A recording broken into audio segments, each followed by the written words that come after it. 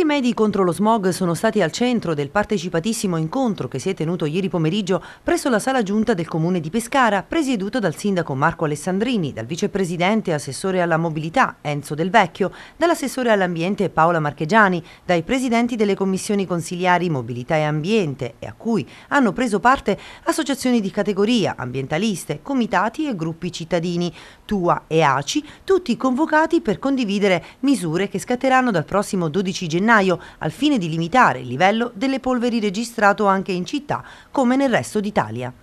Nell'immediato si procederà con alcuni provvedimenti sostanziali, ha annunciato il sindaco Marco Alessandrini, targhe alterne per due giorni interi a settimana e per la durata di tre mesi. Il martedì circoleranno quelle pari, il giovedì le dispari. Ordinanza che riduce di un grado la temperatura consentita nei condomini, portandola da 20 a 19 gradi, lavaggio delle strade da parte di Attiva. Accanto a queste misure verranno programmati anche altri interventi che saranno condivisi in un ulteriore incontro, tavolo che l'amministrazione comunale intende organizzare quale strumento di lavoro in cui coinvolgere anche le scuole. Si porranno così le basi per il piano urbano del traffico, lavorando ad uno strumento per la mobilità di area vasta, immaginando, con soggetti preposti come TUA, ipotesi di spostamento attuabili con vettori sia su gomma che ferro e sostenibili all'interno dei tracciati già esistenti, ponendo anche le basi per un vero e proprio piano regolatore dei tempi per monitorare ingressi e spostamenti delle auto.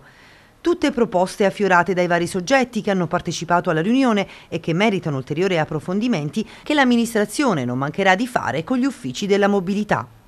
Infine, l'amministrazione intende sostenere nuove pedonalizzazioni. Già dalla prossima primavera una sperimentazione riguarderà la riviera, argomento di cui si è già discusso in giunta al fine di vagliarne la fattibilità e memori del successo riscontrato dalla chiusura del tracciato rivierasco la scorsa estate con la notte del Mediterraneo, la concretizzazione.